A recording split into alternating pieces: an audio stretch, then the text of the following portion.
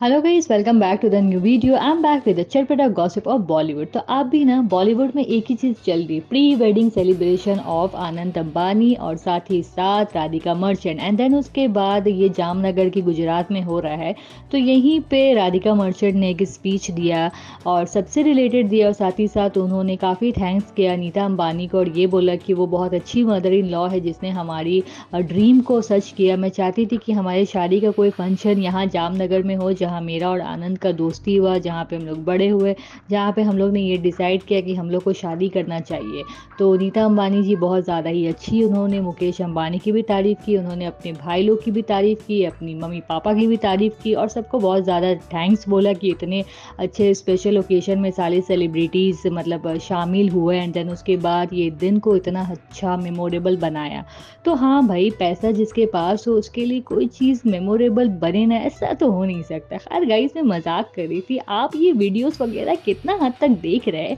Let me know in the comment box be with me don't forget to subscribe तब तक के लिए, tata bye bye